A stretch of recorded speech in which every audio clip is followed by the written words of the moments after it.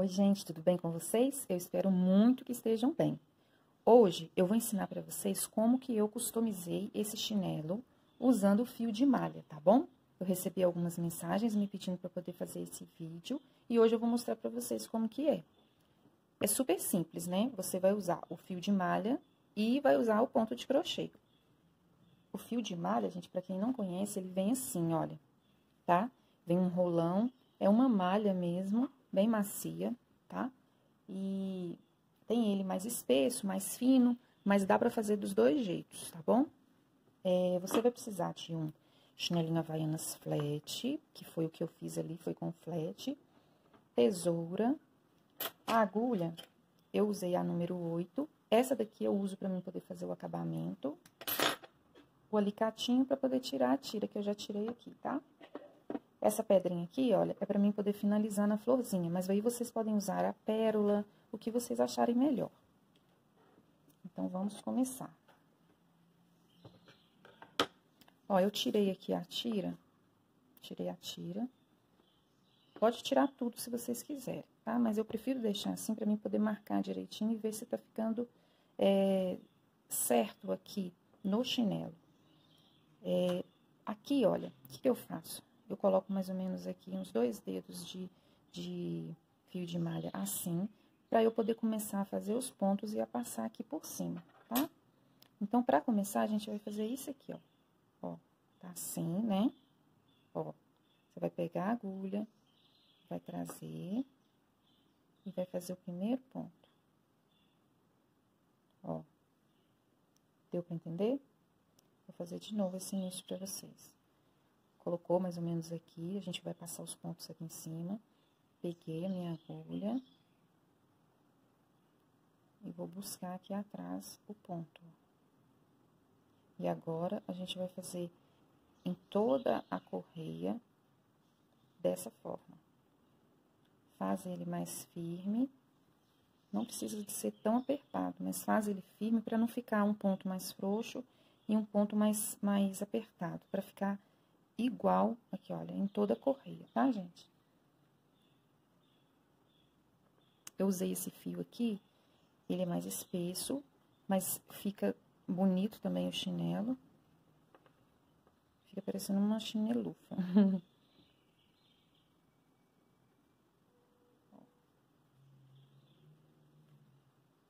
Quem achar melhor, gente, pode tirar a correia, tá? Não tem problema. E esse aqui a gente vai fazer em todo, ó, toda a correia.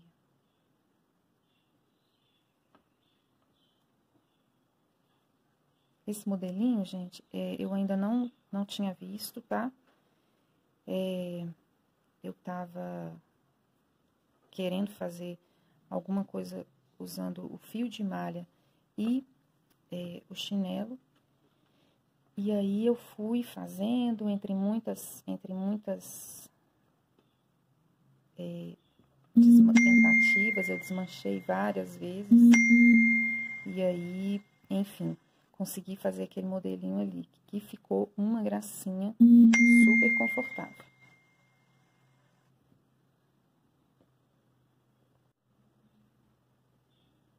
Então, entre muitas tentativas, eu consegui chegar nesse chinelo. Aqui vocês viram que eu passei pra cá, né? Pro outro lado normalmente, sem problema nenhum. Você só continua fazendo o ponto.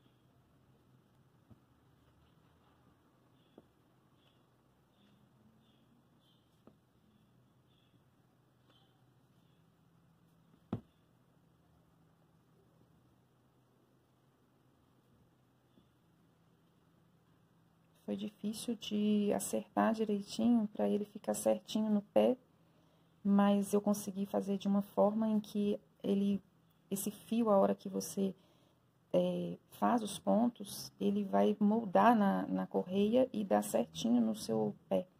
Aqui, gente, olha, nós terminamos essa parte, mas nós vamos voltar aqui, ó, tá? Ó, terminamos. Aí, aqui, ó, do jeito que tá aqui, olha, a gente vai fazer isso, ó, ó, presta atenção. Entra aqui dentro para voltar. Pra gente voltar, tá?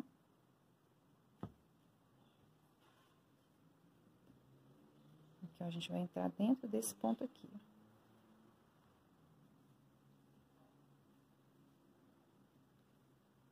A gente vai voltar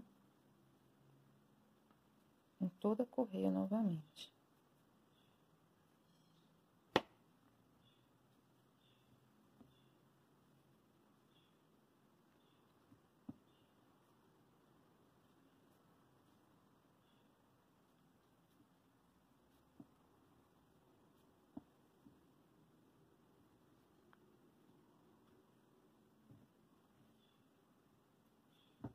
Tirar mais um pouco de fio aqui.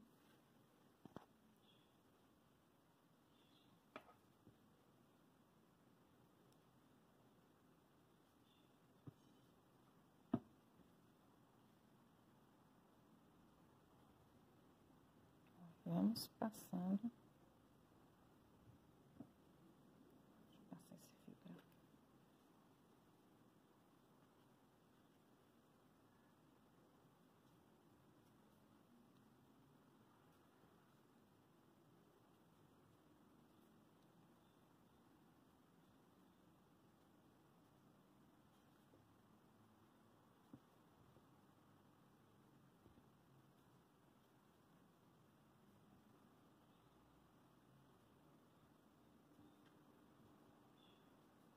Olha.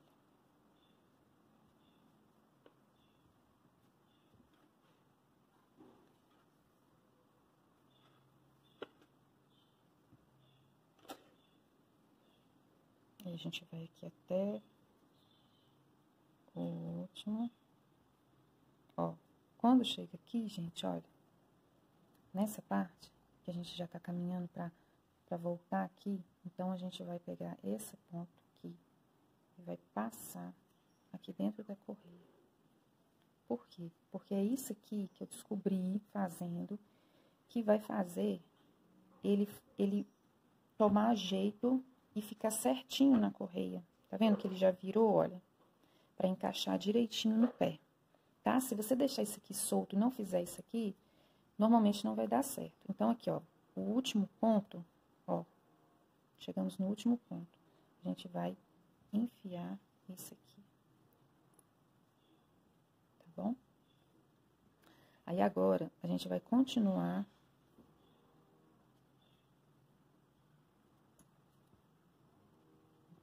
Só que ele ficou muito largo. Não pode ficar tão largo. Aí.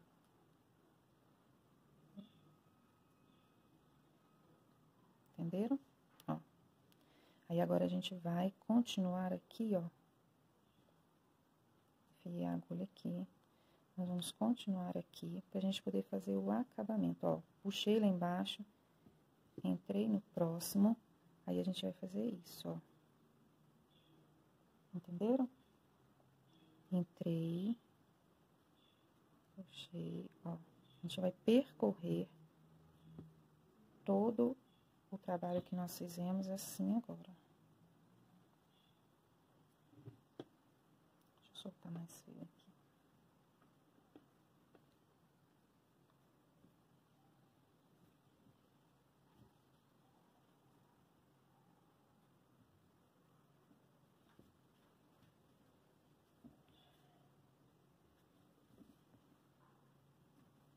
A gente vai percorrendo.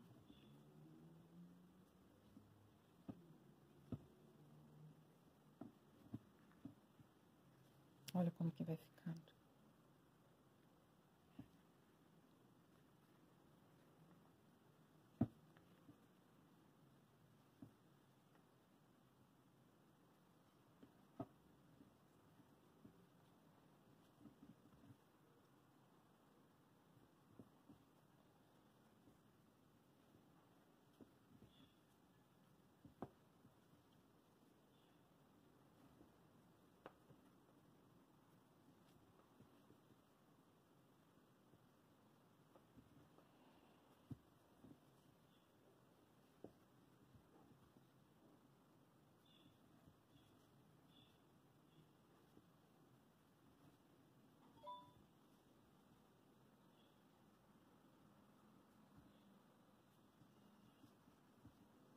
Ó, já estamos chegando no final. nós percorremos todo os pontos que nós fizemos.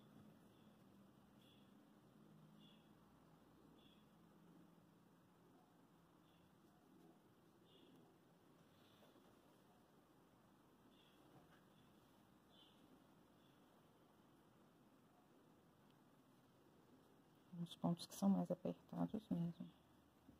Aí, na hora que a gente chega aqui no final, olha, para ele dar aquele, aquele caimento que eu falei com vocês da tira, a gente vai fazer isso. Novamente, vai pegar esse último ponto e vai enfiar ele aqui na tirinha do chinelo. Aí, ele vai dar todo o caimento que a tira tem que ter. Olha. Aí, o que, que nós vamos fazer aqui agora? A gente vai fazer o acabamento. Esse fio aqui, a gente corta mais ou menos esse tanto. Eu tenho uma, tira, uma cola de tecido e a gente pode usar ela também, tá? Pra poder colar ali, pra sumir esse, esse pedaço de fio. Aqui, olha, eu puxo ele aqui. Tá vendo a agulha menor pra que que serve? Pra gente poder fazer esses pequenos detalhes, ó. Aí aqui, você cola ou você continua enfiando ele aqui pra dentro e pode dar um pingo de cola aqui, tá bom? Aí aqui a gente vai enfiar ele na tira, no, no solado, vai enfiar a tira no solado.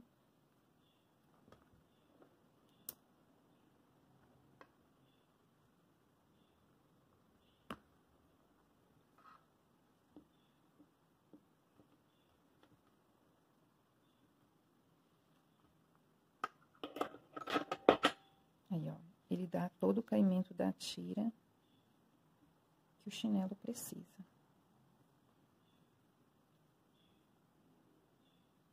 Gente, e é super macio, tá? Agora, eu vou mostrar pra vocês como que eu faço a florzinha pra gente colocar aqui. Aí vai da criatividade de cada um, gente. Dá pra colocar florzinha, ou vocês podem é, colocar pérolas, né? Bordar essa parte com pérolas. Vai da criatividade agora de cada um, como que quer fazer. Eu vou usar um outro fio, vou usar esse aqui, pra gente poder fazer a flor, tá? Florzinha super simples, eu acho que eu já ensinei pra vocês, mas essa daqui, como ela é menor, ela é diferente, mas praticamente os pontos são o mesmo.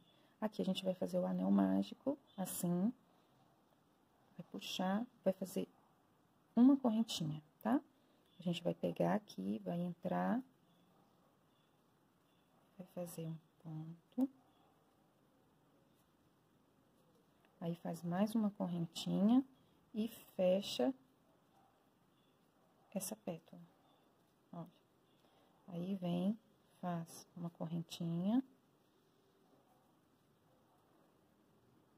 Faz um ponto. Faz uma correntinha e fecha.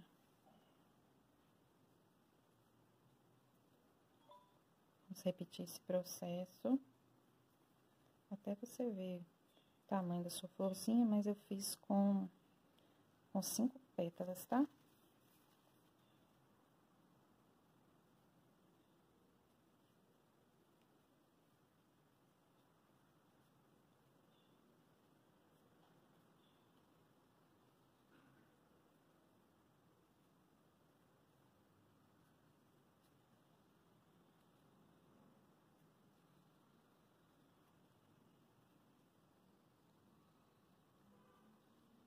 A última pétala.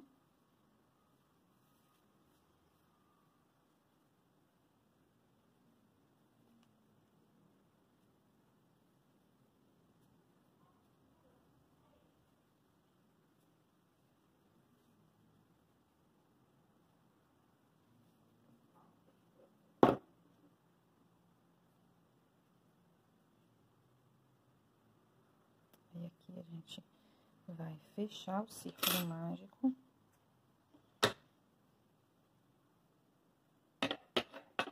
Aqui, ó. nessa ponta a gente fecha. Opa, caiu. Eu tô fazendo num lugar e é mais alto. Deixa eu puxar aqui.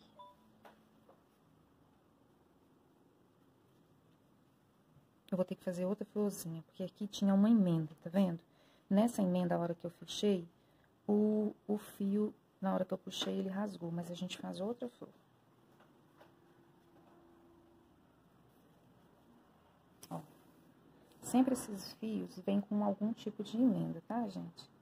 Então, a gente tem que ficar de olho nisso. Tem gente que até é, tira o novelo todo para poder ver onde é que estão os fios. Então, é bom que eu vou fazer de novo aqui para vocês, ó. Uma correntinha, eu vou fazer mais rápido um pouquinho.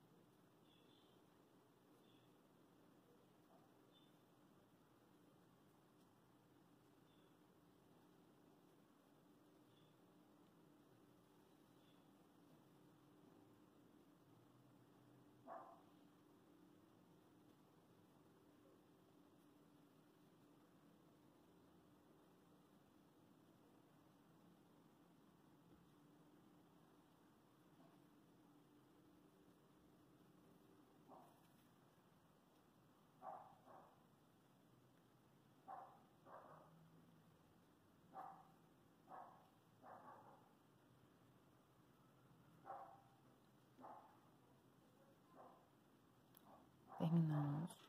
Deixa eu cortar aqui, tomara que não arrebente na hora que eu for puxar. A gente vai puxar o círculo mágico. Podemos tirar aqui, ó. Aí, acho que eu puxei com muita força, foi isso.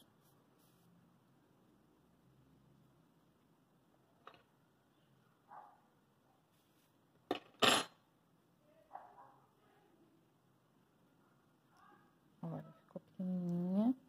Se vocês quiserem, pode fazer ela um pouquinho maior, não tem problema. Aí, o que que eu fiz aqui? No outro, eu já tinha contado os pontos, eu coloquei um, dois, três. Aí, nesse terceiro aqui, ó,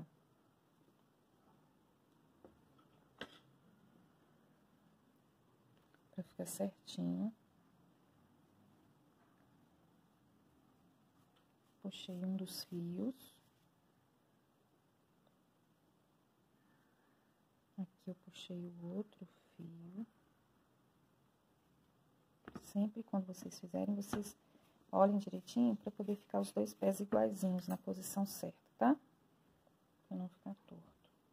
Aí aqui eu amarro. Lembrando que vocês podem terminar é, do jeito que vocês quiserem, colocando pérolas em volta, strass, dá pra colocar também, fica legal sempre usando a criatividade, tá? Aqui.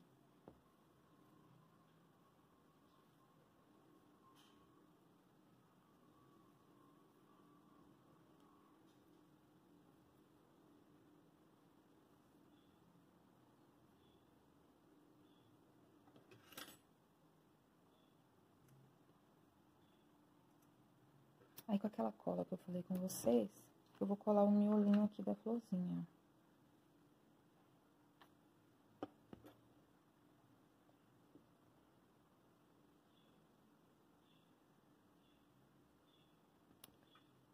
Prontinho. Gente, eu espero que vocês tenham aprendido esse modelinho. Olha como ficou lindo.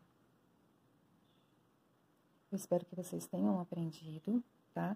É, se vocês gostarem do vídeo, deixa o like, curtam, comentem, tá bom? Para eu poder fazer mais vídeos como esses para vocês. Fiquem com Deus, um grande abraço.